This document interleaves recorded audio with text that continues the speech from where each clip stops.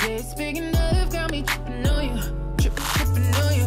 My bad, my bad for Hello everybody, welcome back to my channel. My name's Gracelyn and today I've just done a holiday makeup look and this is an easy holiday makeup look because it was fairly easy and um, I told you how I do everything step by step and the eyes weren't actually my favorite but I, after I added the look, I mean the lip and everything, everything looks good together. So this is an easy holiday makeup look. I'll be doing another holiday makeup look on my channel, including a red lip because I feel like a red lip is so holiday related, especially Christmas. So if you like this video, please give it a big thumbs up and don't forget to subscribe to my channel down below. And I'll see you guys in my next video. Bye!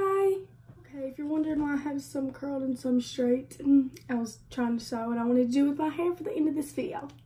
So let's go ahead and get started. Um, to start off, I'm going to be using this to hydrate my face.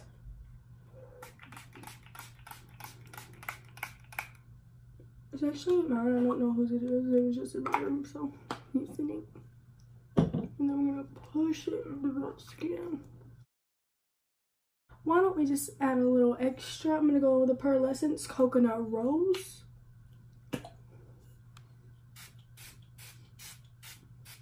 Ooh. Head and start off with my foundation today since the eyes aren't gonna be super heavy. And I'm gonna be using the NARS Natural Radiant Longwear Foundation. You're gonna have to ignore my hands. My Xbox fired up today, but I'm gonna be mixing this with my LA Girl Pro Coverage High Definition Longwear Illuminating Foundation, and this is the white one. I'm asking for a bunch of makeup for Christmas so I can try to do a full face what I got for Christmas, but that's later down the road. This is my summer shade. I'm going to be mixing it with this white base to lighten it, and if you want to save some money, this is a good trick. So, this is about $5, $6, I think. It's about 40 something dollars. Okay, so take, I honestly don't know. And I'm almost out of this foundation too. Because it was my ride or die. I'm not using a primer other than those sprays today. Because I don't feel like it. And then I, I think that's good. And then I'm to take my finger and warm them up together. The good thing about the white base is it really doesn't change the formula of the foundation you mix it with most of the time. Whoa, that's yellow. And I just got it in my hair. I'm a mess. Okay, let's add a little bit more. So, got it mixed up and I'm just gonna put it on my face. This foundation, which I've wore many times on my channel, is Dewy nice dewy full coverage foundation lasts a long time. But the reason i quit wearing it is because one it got too dark and i forgot i had this. And two during the day at school i get oily and it's not like in the summer i don't stop. Some people not but i don't stop to touch up my foundation when i'm at school. So i don't want a foundation i ain't gonna mess with through school? So that's why i don't wear this for school. Much And my, one of my favorite things about this foundation is you don't have to work too quick with it because it doesn't dry too quick. So it's good. And if you know me, you know I'm super slow when it comes to makeup, so that's a good thing for me. I blend this all down my neck, even though this is, I thought this was too yellow, but once I got it, like, actually on my neck, it matches my neck like really, really good. I did the perfect amount of white. You done something right, Gracelyn. Yay! Okay, so the concealer I'm going to be using is the LA Girl Pro Conceal in the shade Light Ivory. I swear I have I have like five or six of these because when I do people's makeup, these are the concealers I use on them. And yep, darker than my foundation. I have a lighter shade than this. So I found my right foundation. This is the same right foundation, right shade. This is the same concealer in the shade Porcelain.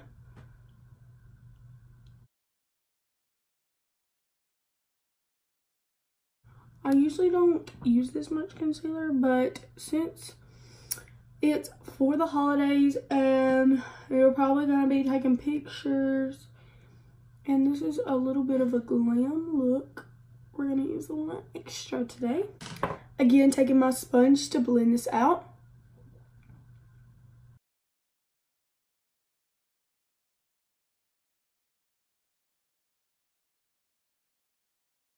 This concealer blends so good and it's really good coverage and it's a really good price. I'm gonna go ahead and do a little bit of cream contouring, which I don't do that much on my channel, but I actually really do like cream contouring a lot. The things I usually use to cream contour is the NYX Wonder Stick. It has like a lighter shade on one end and then a dark contour on the other.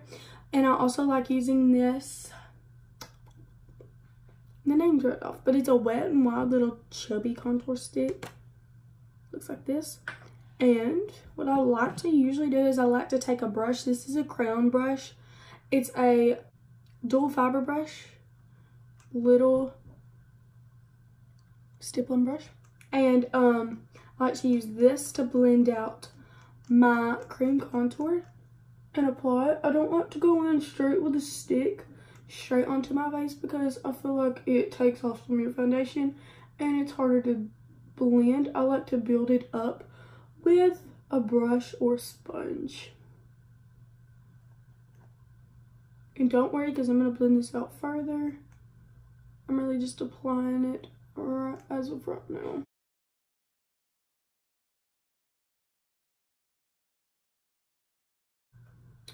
Okay, so now what I'm going to do is I'm going to use this brush, but I have a little trick. I left some foundation on my hand. This is how I like to get a seamless cream bronzer slash contour. I like to take a little bit of my foundation and I like to help me, that helps me blend this product out.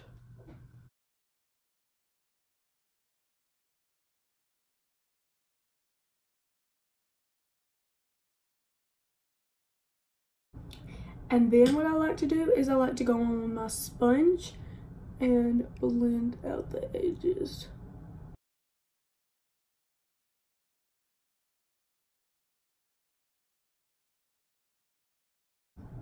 I think cream bronzing looks super good. I especially think it looks good. I don't really have a problem with this. I have kind of normal skin, but if you have really dry skin and powders just don't work well with your skin, most powders, then I recommend cream contouring because it looks way better. So that's all the cream bronze blended on my cheeks. And now I'm going to take a tiny, when I say tiny, I mean tiny bit, not even a really contour, just to even out my face a little bit. Because I think it looks weird like when you don't have anything in the center a little darkened, put some on the side of my nose and with that brush and then blend it out with my sponge. Just like that. And then we're gonna go in with some powder. So I'm gonna blend out these creases. And then I'm gonna take that little extra from the creasing and take it underneath my bronzer to clean it up. Okay, so the powders I'm going to be using, yes, I'm going to be using powders. For my under eyes, I'm going to be going in with the Airspun Loose Face Powder, which I don't really like this powder, if you want me to be honest.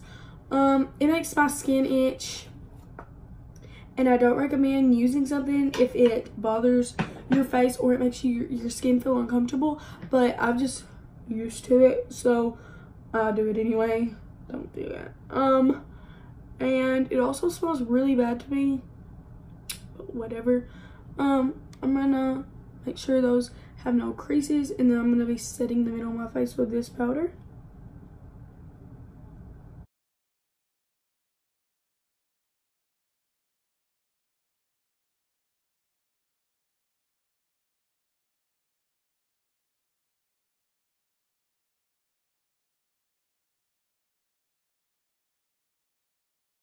So we're gonna let that powder melt a little. And while it is, I'm gonna be taking the Revolution Luxury Baking Powder in the shade Lace. And I've talked about this before in one of my favorites videos. I really, really like this product, but I don't like the top. So I just put some of this in the top of my airspun lid. And then I take this big e.l.f. kabuki brush, like I've had this forever, if you can't tell, it's like coming, the black part is coming off. I'm going to take a little bit of this powder, not too much. Remember, it's winter, the air's drier. We want our skin to be matte. Well, I do.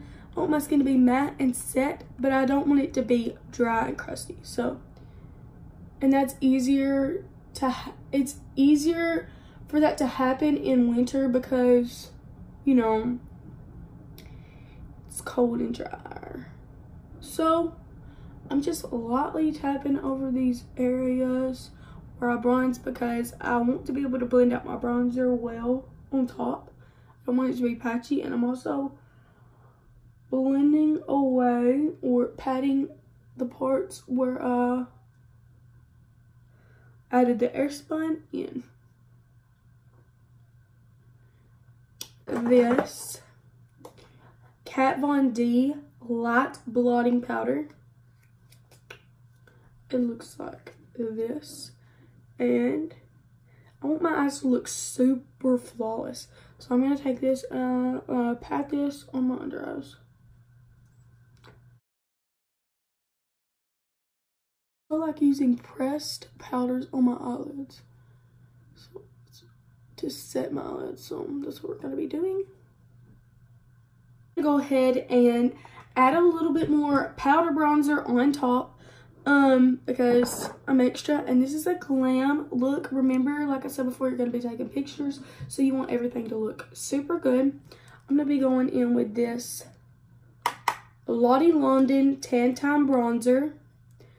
The packaging looks like this and here's the color and the product so i just take that and i just add that on top of where i cream bronzed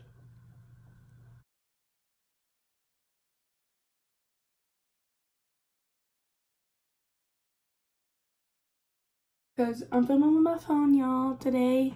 I got a new phone. I don't know if the quality's different. Y'all can tell me. But I am using my front camera so I can see what I'm doing. I'm goofy. But, like, once I get at my dad's, I'll use my camera. Don't worry. So, that's what the bronzing looks like.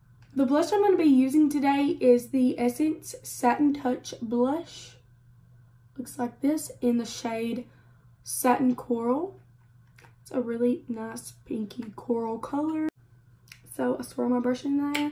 This is the e.l.f. Flawless Face Brush. And I just brush it back. For some reason, I've been wearing a lot more blush lately. I don't know why.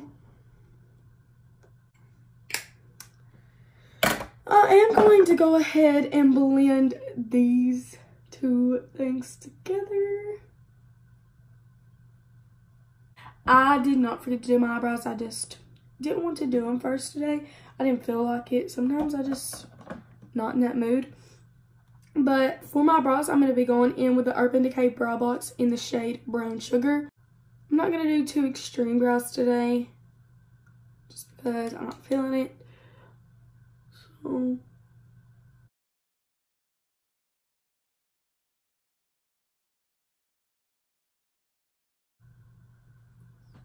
Now I'm going to be going in with some eyeshadow and I'm going to be doing a pretty, I mean, natural eyeshadow look today. I'm going to be using the Morphe Jaclyn Hill palette and this is the, don't know what it's called, I don't have the name on it. It's the purple one.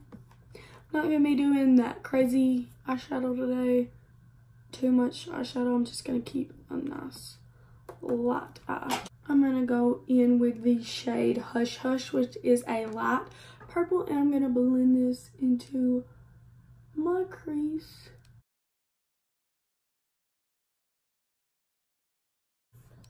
Just blended that into the crease, kind of look dead. I'm going to go in with the shade Rockstar, which is a purplish red. And blend this out into my crease as well. Kind of like a first impressions for this palette. So far it's going okay. It's not blending as nicely as I want it to. It's kind of blending patchy. Yeah, a little patchy. But keep in mind I'm I'm also using light amounts of these shades, like barely tapping in. So they're pretty pigmented, but if it goes patchy with the little amount I'm using, I'd hate to see it. A lot of product, but whatever. I'm going to take this small blending brush in the shade Hush Hush and try to blend out the edges further.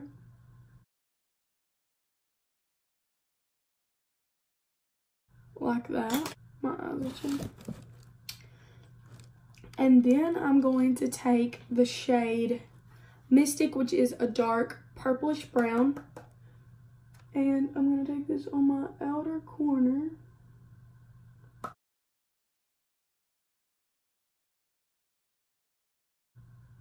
I lied, these shades aren't too crazy pigmented. I mean, they're pigmented, but they're not like crazy pigmented.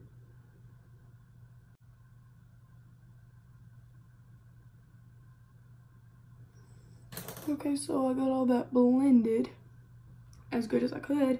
And I'm going to go in with the shade Bling Bling first. It's like a kind of a pinkish, purplish shimmer.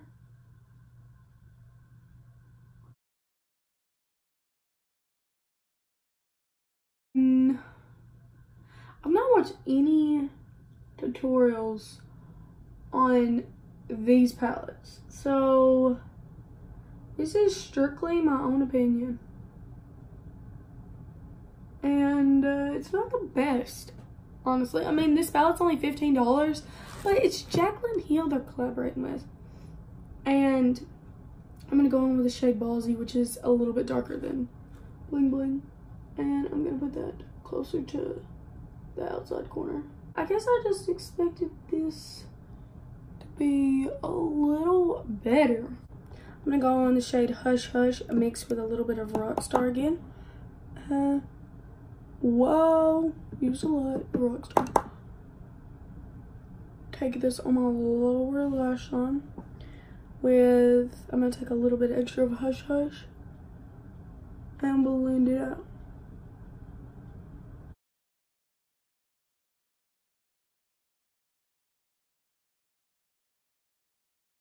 So let's have a closer look at the eyeshadow.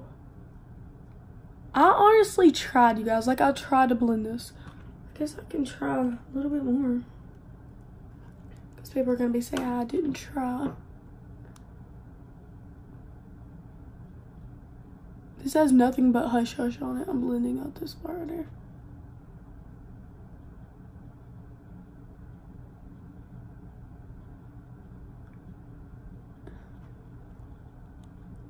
Not blending. that's okay. We're gonna go ahead and dust off this bake. I do not recommend buying those palettes. Maybe the other ones are better than the purple one, but I don't know, I definitely don't recommend buying the purple one. So that's the tea. Um, we're gonna go ahead and highlight my face.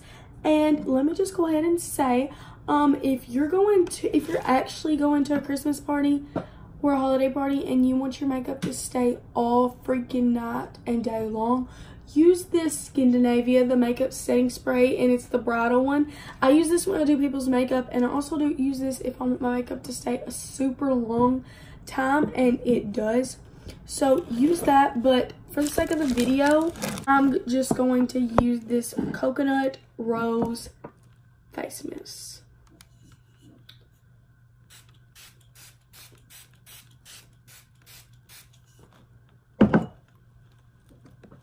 And now I'm going to go in with highlight. the highlight I'm going to be using is the Anastasia Beverly Hills Amrezy highlighter in honor of them reselling it. Ooh, bringing it back and reselling it. I'm going to go ahead and dip into this using this highlighting brush.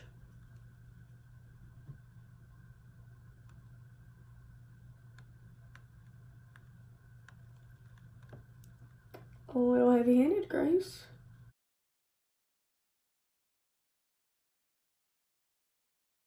I'm going to go in and blend out with my sponge. And then I'm going to take this on my nose with my finger.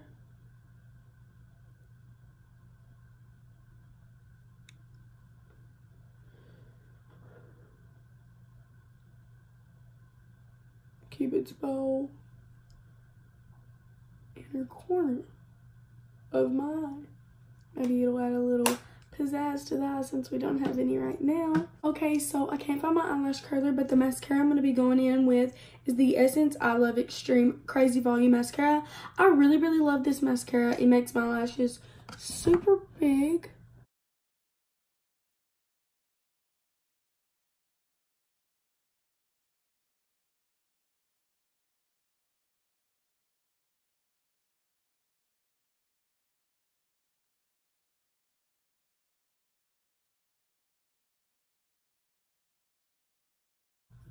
Okay, so that's the mascara. And honestly, my skin looks super there, but my skin looks super good. My eyes are, after we put mascara, it, they look okay. Not blended the best, but it's, it's okay, it's okay. So now I'm going to wipe off my lip balm and do my lipstick. Okay, so for lipstick, I kind of do like a natural pink. So I'm going to be using this NYX Pro Lip Cream Palette in the shade of the pinks. And I'm just going to mix a color. Using a little bit of that shade. That shade. That shade.